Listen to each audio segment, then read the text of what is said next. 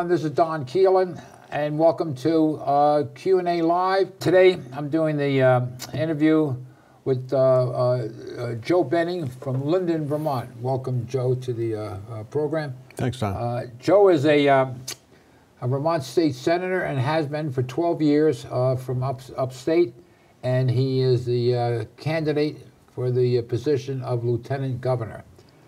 Joe is a graduate of Lyndon State College, and also of the Vermont Law School. And if I'm not mistaken, you've been practicing law for about four decades almost? Well, I like to tell people I actually am not practicing anymore. I've learned how to do it. You are running for the position of lieutenant governor. Can you share with our, our audience what is the role of the lieutenant governor? There are three formal functions of the office itself. The first is that you are literally the person gaveling the Senate in and out every day. You're running that organization like you would a town meeting. Uh, I've actually been the town moderator in the town of Lyndon for 10 years, so I know how to get a group of people through a calendar and make sure that the business is conducted fairly and appropriately. That um, banging of the gavel, if you will, you have to develop a certain rhythm and cadence to what you are doing in order to make sure that the process runs smoothly. You also have to have a working knowledge of what the rules of the Senate are. Um, there is a process that you go through to make sure when you're doing your business on a day-to-day basis that you understand what the entire, um, I'll guess, how to describe it, what you do on a daily basis is a business, and you have to get that business conducted, uh, and you're the person in charge of making sure that it does.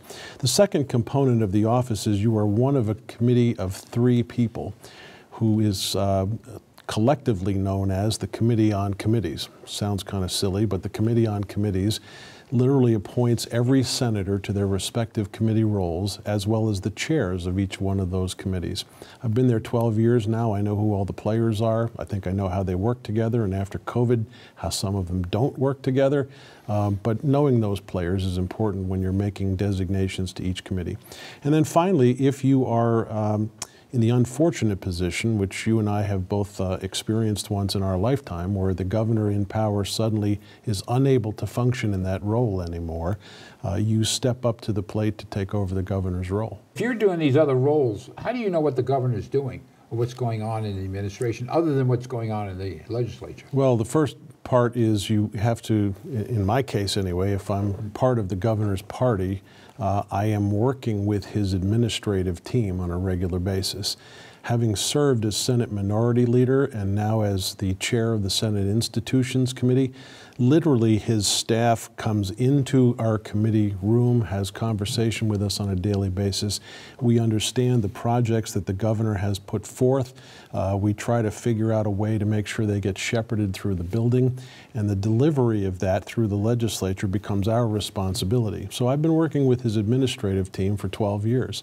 I've also worked with his campaign team, having traveled around the state with him uh, campaigning on several of his campaigns. And so in my case, uh, I feel as if I am ready to step into that role with the team that he has assembled in order to keep the business of government moving forward. The distinction I have between myself and my opponent is um, he has pretty much alienated himself from the governor. They did not get along when the um, role of lieutenant governor was being uh, served by David Zuckerman. They had a relationship that was quite strained, and on the most recent primary night, uh, David made the mistake of announcing to his audience that he was going back to Montpelier to get that hump out of the way, that hump meaning Phil Scott. So right away, there's some antagonism there, and the team that Phil Scott has assembled uh, and by the way, I have no misconception. I believe Phil Scott's going to get reelected. But the team that he has assembled to run this $8.2 billion entity known as the state of Vermont, um, you've got to have those folks in your camp if you're going to be taking over that role. And I think that's probably one of the strongest distinctions between David and myself. We don't have sufficient employees in this state to carry out the role of so many organizations, whether regardless of the sector. What is the legislature doing about this? Uh, we have, as a group, coming through COVID, recognized all of these problems.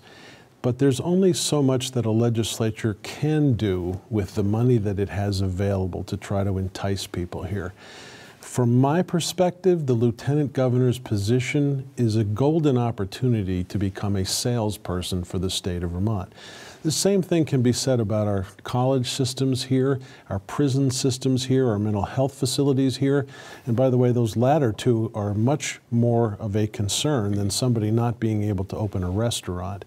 When you have the corrections department saying, all of you corrections officers who are here are going to go to a 12 hour shift that's really problematic. I mean, this is our basic safety we're talking about. So it's you may not be able to find a restaurant open, but in comparison, that just pales uh, to the fact that our prison system is in that much trouble. So, what can be done about it from a legislative perspective? You can enact laws, but that doesn't bring people here. You can entice people with certain legislation, which the governor has tried to do with a program where you would offer out of state folks a sum of money to come here and work remotely if they have that opportunity. Um, but the thing for a lieutenant governor, I think this is really important, they have the time and the proper person in that role becomes a salesperson for the state of Vermont. And my intent in taking over that role, not just the three basic functions of the role, but creating a situation where I become the salesperson for Vermont. I will travel anywhere on the globe to try to entice people to come here. And I'll use as an example Kyle Clark and his family. Kyle is the actual CEO of Beta Technologies, which presently is in Burlington with several hundred workers, but he wants to expand. So last Saturday, I had him at the Caledonia County Airport giving him a spiel about how great Caledonia County is. Could he expand his business there? That's the classic thing that I would love to do in this position.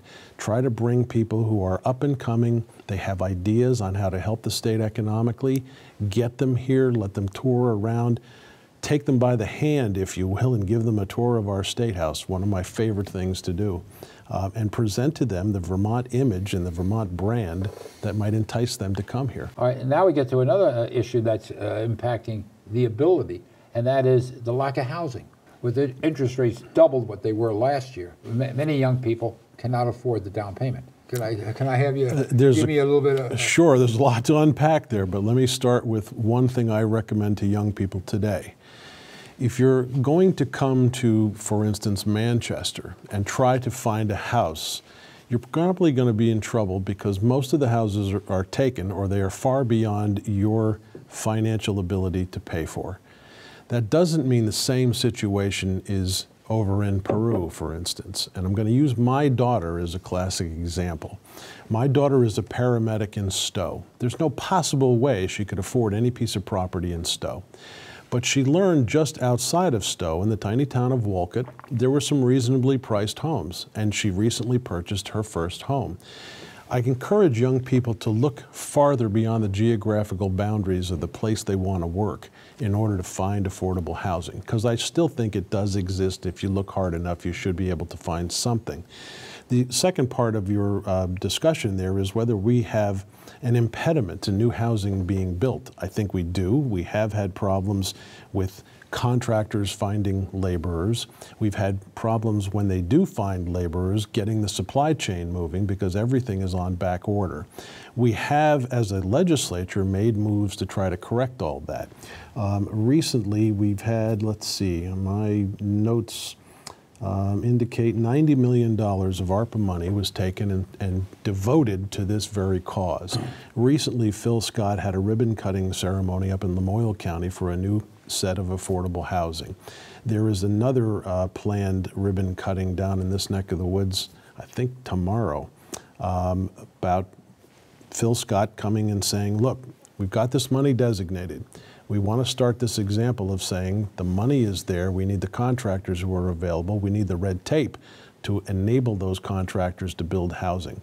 So we're trying to battle this on several different fronts, and I think eventually um, we're going to get to a point where people are going to smooth out and where we find the workers to come in the first place, I think that would be my job as lieutenant governor to try to get out there and find them.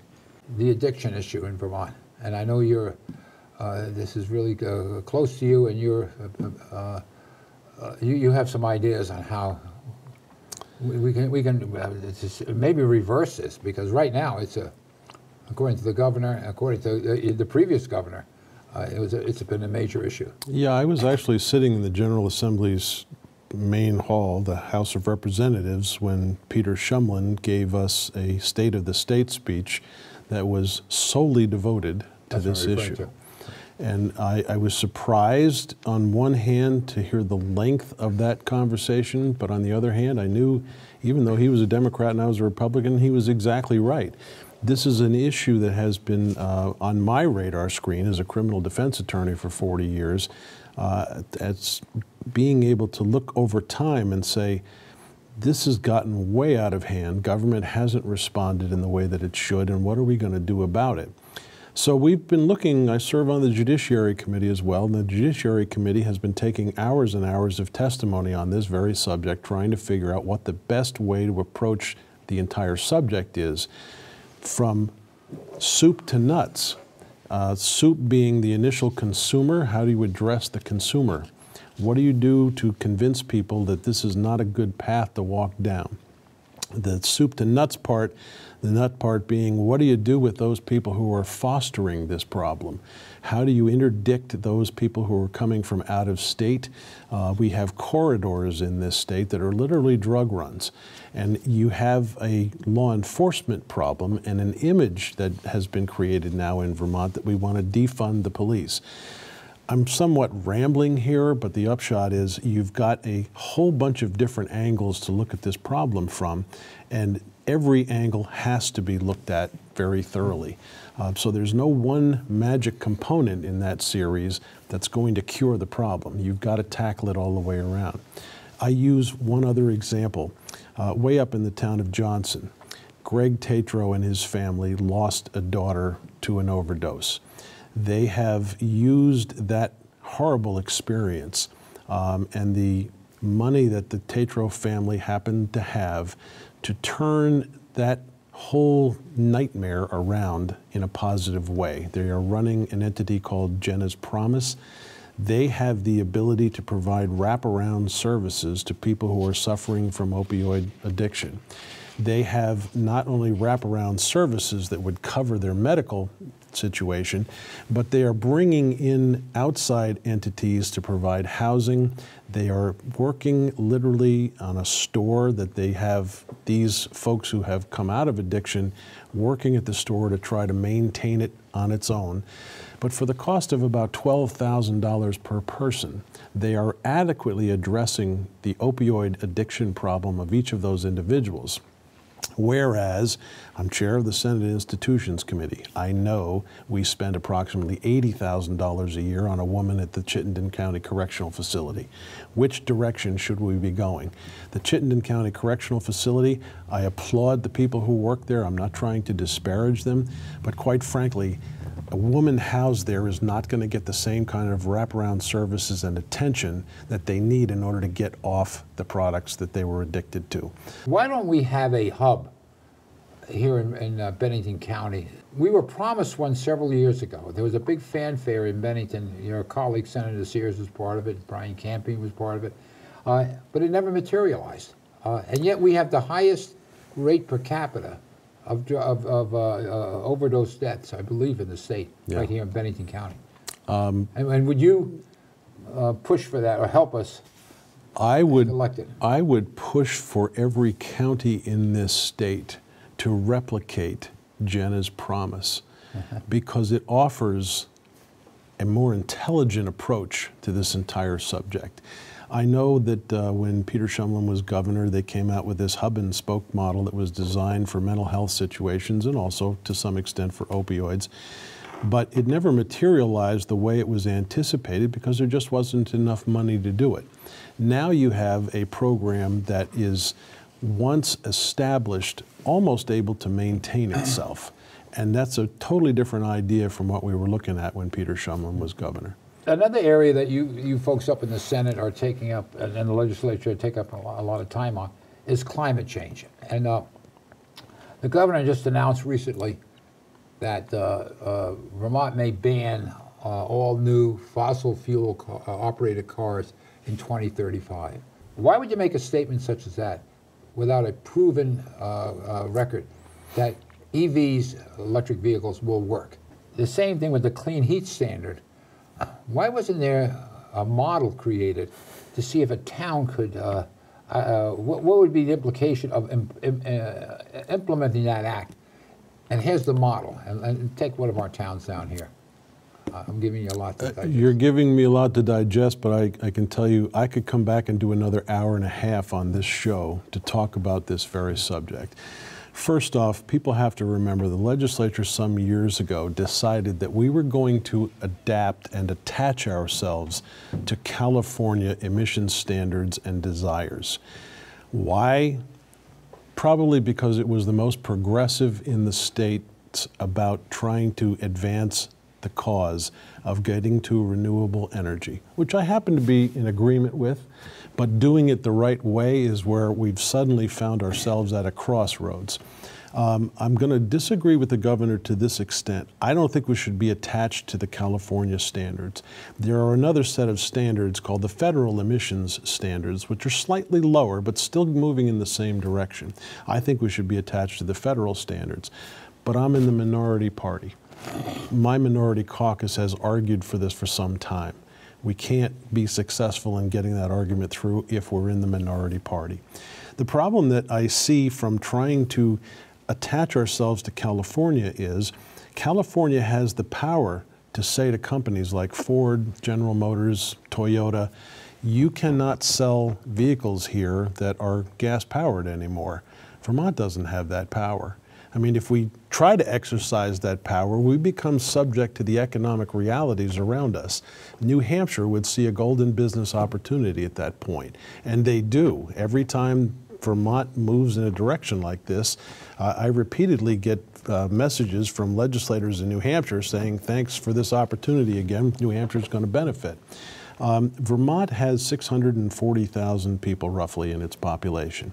If the entire population was to disappear tomorrow, our collective carbon output would obviously disappear. The problem is it would have absolutely no impact on climate change whatsoever. So are we making a smart move there?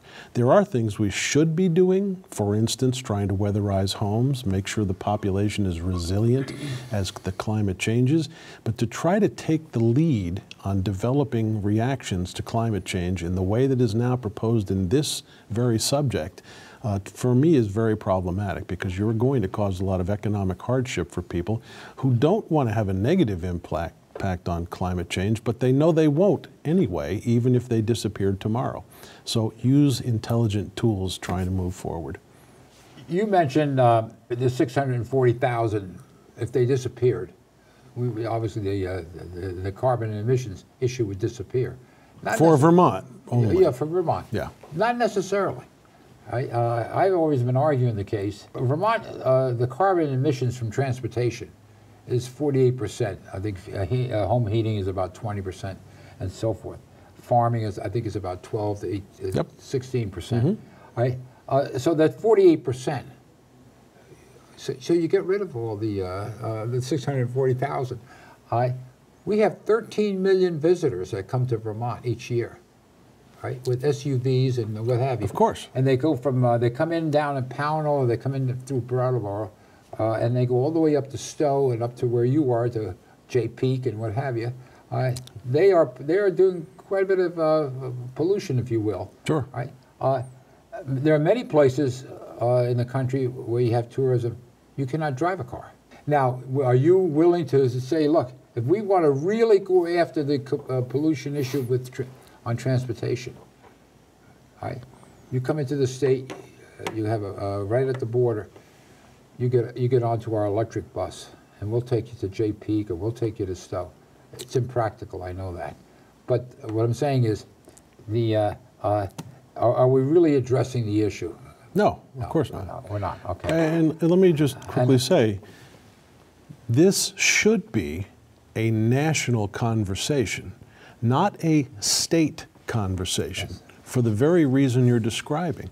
If we say as Vermonters, we are not going to sell gas-powered cars here, Well, that means that all these mom and pop convenience stores that have a gas pump out front, they're going to disappear because there's no reason for them to be here when the tourists are not around. You got a whole lot of automobile dealerships and repair shops that are going to disappear. This is a substantial part of our economic engine we're talking about.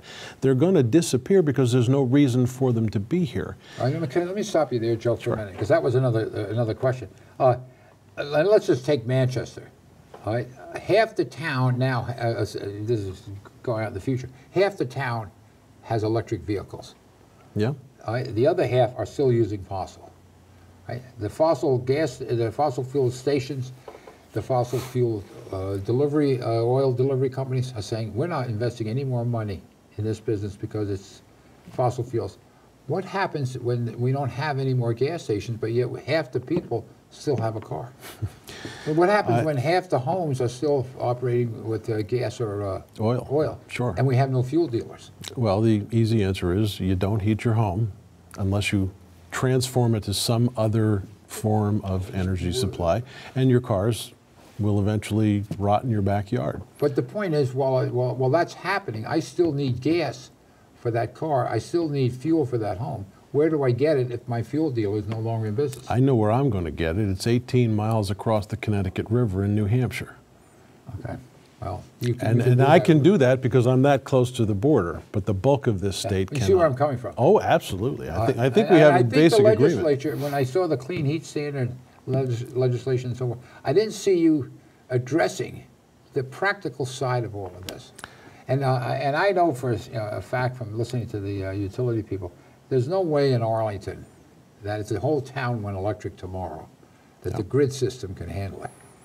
So let me, let me back you up because you just made a comment about whether I ever addressed it. We had major arguments on the Senate floor when the clean heat standards were being discussed initially, and I repeatedly stood on the floor and said, look, we all know the lowest hanging fruit on trying to reach what were goals and are now mandate, mandates for carbon emission reductions, the lowest hanging fruit to cure that problem is your transportation fleet and your home heating costs.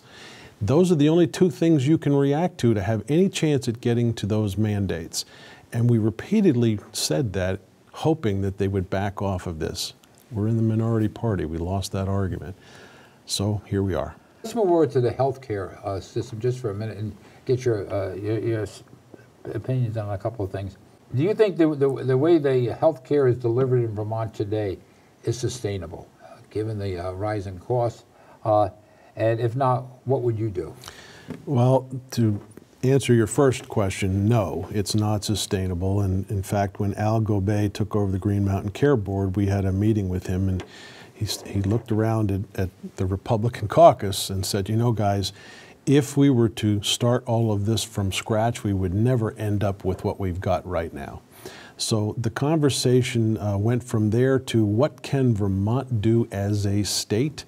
We were in the midst of um, all kinds of discussions about trying to take on healthcare as a state entity. And we knew, as Republicans, that you just could not sustain that either.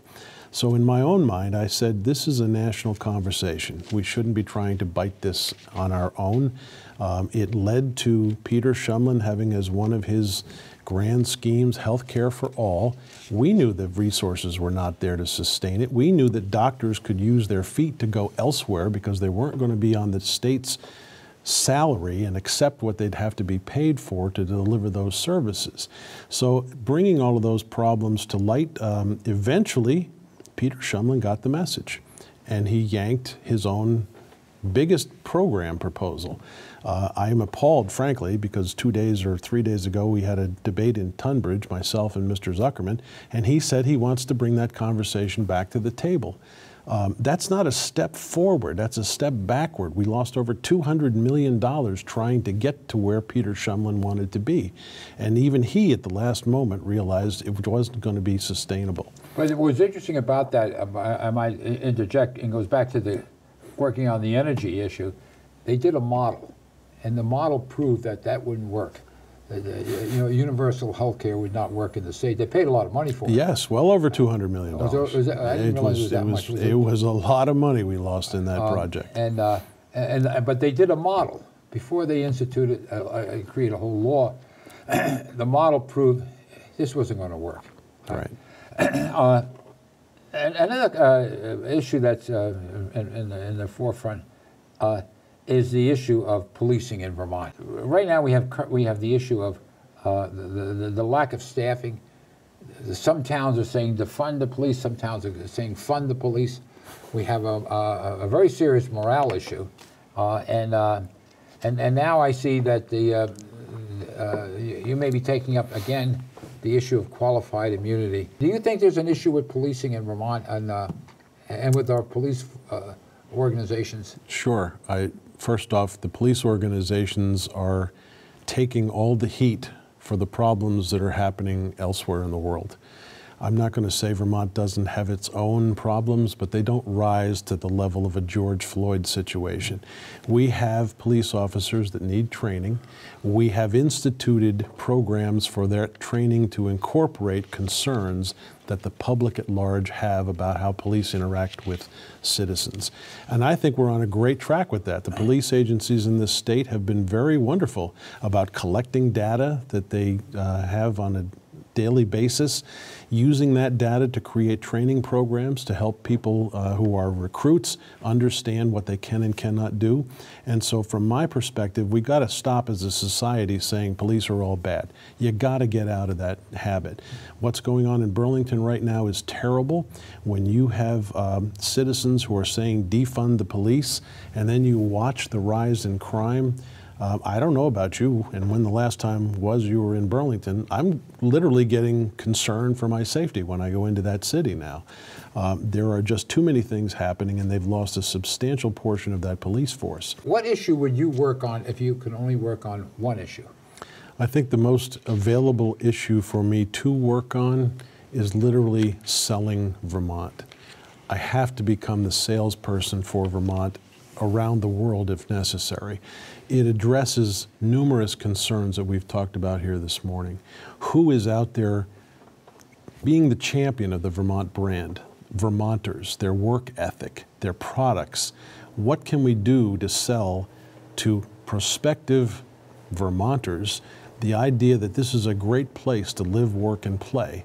Um, I think a lot of people are attracted to this state for various reasons, and it would be on my shoulders to get out there, meet them, and try to promote them to actually go through the process of moving here. Um, so that would be my hope in using the office beyond those three core principles that it has to function in, um, getting to the point where you're literally the state's chief salesperson. If uh, people want to find more about Joe Benning, uh, how would they do that? It's real easy. Go to joebenning.com. Can't be any easier than that. Thank you all for being with me today, and Joe, thank you very much, and uh, all the best. Thanks for having thanks me, for Don. coming down here from Lyndon, Vermont. Wonderful trip. All of you have a great day.